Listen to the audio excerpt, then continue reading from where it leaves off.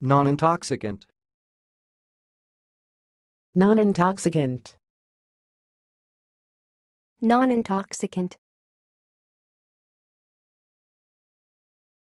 Thanks for watching. Please subscribe to our videos on YouTube.